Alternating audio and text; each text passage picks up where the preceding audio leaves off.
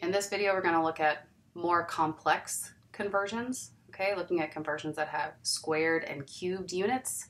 Um, it, it makes it a little more difficult, but it's totally doable once you get the trick, okay?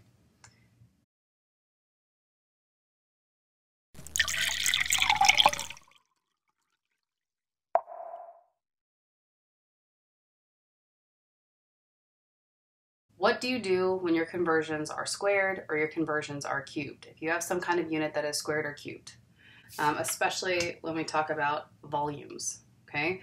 Um, volumes are, are cubic, right? You're talking about length times width times height. Um, so any, any type of unit that has a square or a cube, it gets intense if you don't understand how to convert, and it gets even worse if you don't know what to do with cubes and squares, anything that has an exponent, okay? Um, but once you get the trick, it's easy. So here's what you do. All right. Um, all you do really is you you have the same three steps. Okay. If you don't know how to do regular conversion, go figure out how to do that. All right. But all you do for a conversion with cubed or squared is you're still going to start with your given so whatever the problem gives you, you start with that, right? Step one, start with your given. Step two, you set up your blank conversion. And the only little caveat here is you have to make sure your square or cubed units will cancel. And then step three is you just do the math.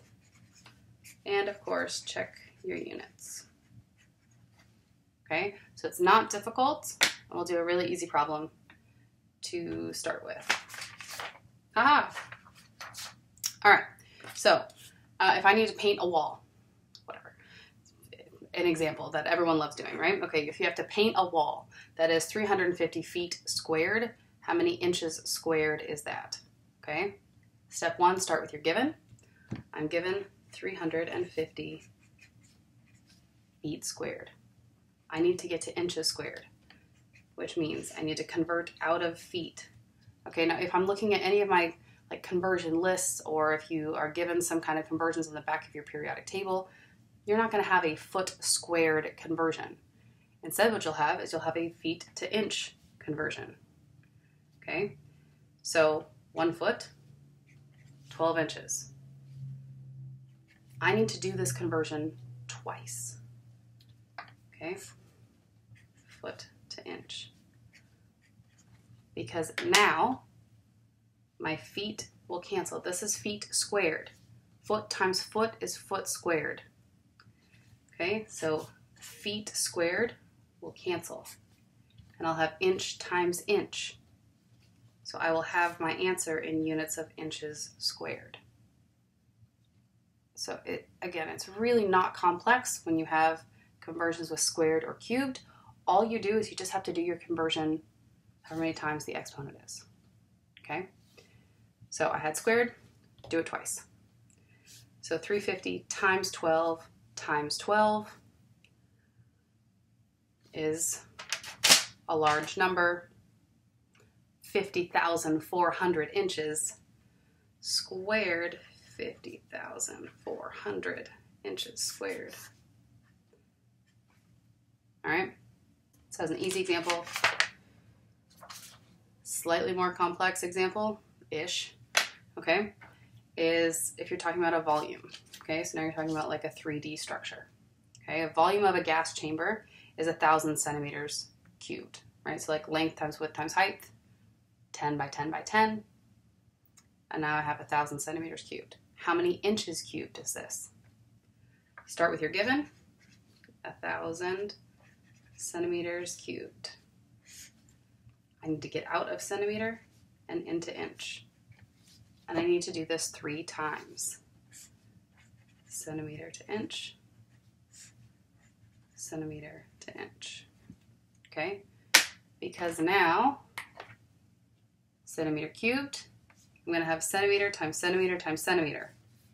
That's going to cancel out with the centimeter cubed. And I have inch times inch times inch. That's going to give me my answer in inches cubed. Perfect. Okay? Not hard at all. And if you look at your conversion rate, one inch, 2.54 centimeters, one inch, 2.54 centimeters. And so you just take a thousand, divide by 2.54, divide by 2.54, divide by 2.54, and you get a lovely answer of 61.0 inches cubed. Okay, you just do that conversion three times. Okay, the other way you can write this, of course, right? You could say a thousand centimeters cubed, and you could set up your conversion one over one inch over 2.54 centimeters, and then you can cube your conversion. Okay, you can cube your conversion rate.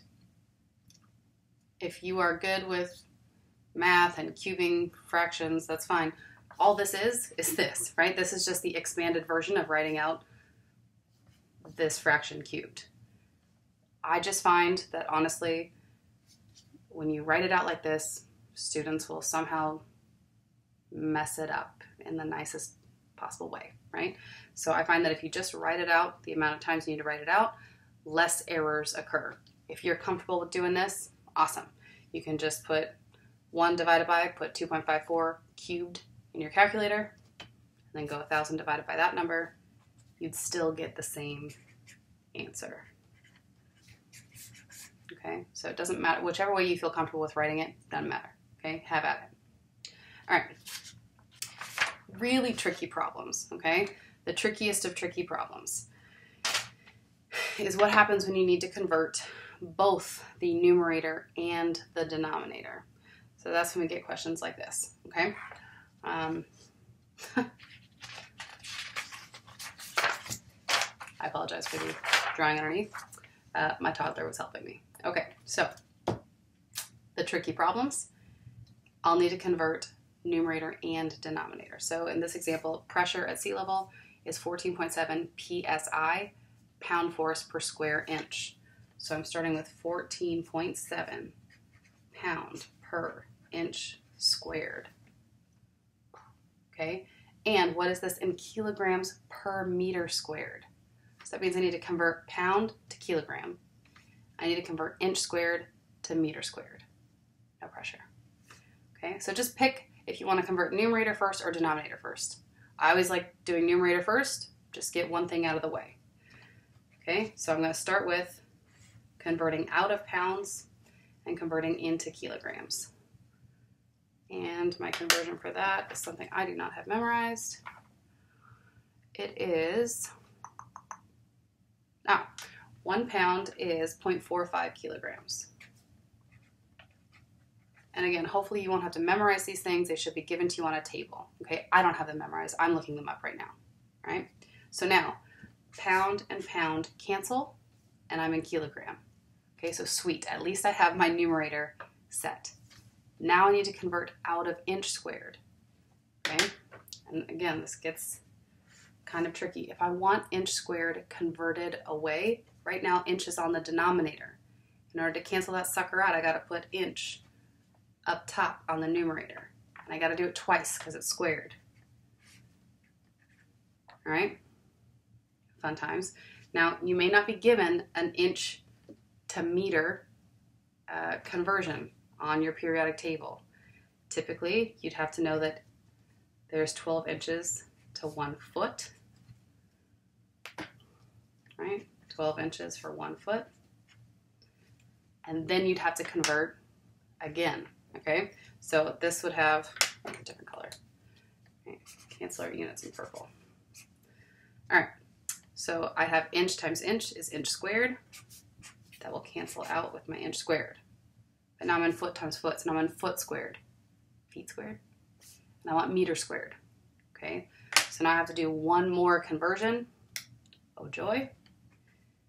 get rid of the feet, get it into meters. Okay, foot times foot is foot squared. Cancel with foot times foot. And now I'll have meter squared on the bottom. I just need to fill in my blank conversion here. And feet to meter, one foot is 0.3 meters. Okay. And finally, this would be done. Okay, so this step right here converts your, this is getting you into the correct numerator.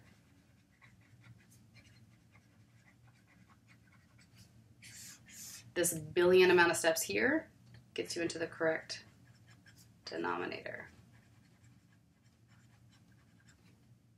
Okay. Canceled out pounds, getting into kilograms. Canceled out inch squared, canceled out feet squared. Gonna get my denominator in meter squared. You just type in these numbers in your calculator. 14.7 times 0.45 times 12 times 12 divided by 0.3, because it's on the denominator, divided by 0.3 equals. And you get the horrible slash wonderful number of 10,000, good lord, 10,253 kilograms per meters squared. Okay, so um, this would be like the worst type of complex conversions you would have because you have to convert both numerator and denominator. Um, but now you know what to do if you have any kind of conversion problems with squared or cubed units. Good luck.